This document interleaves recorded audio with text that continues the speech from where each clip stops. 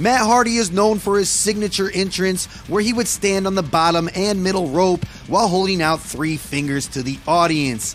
On a UK episode of SmackDown in 2010, he made his entrance alongside Justin Gabriel.